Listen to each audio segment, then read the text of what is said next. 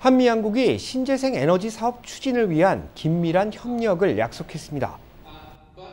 LA 초영사관 주최로 열린 신재생 에너지 사업을 위한 세미나에서 양국은 미래에 상용화될 기술을 위해 두 나라가 보유하고 있는 선진 기술을 활용해 국가 발전에 도움이 될 수 있도록 협업해 나갈 것을 약속했습니다.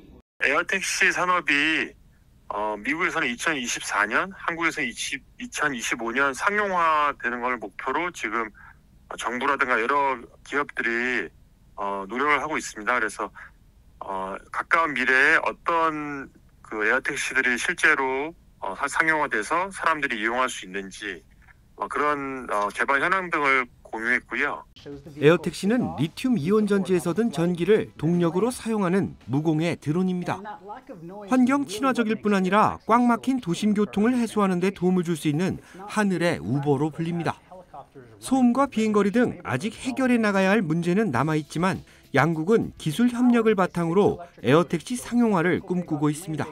어, 한국과 미국의 어떤 첨단 기술 교환이라든가 또 어, 향후에 어떻게 협력할지 이런 내용들도 많이 공유가 됐습니다.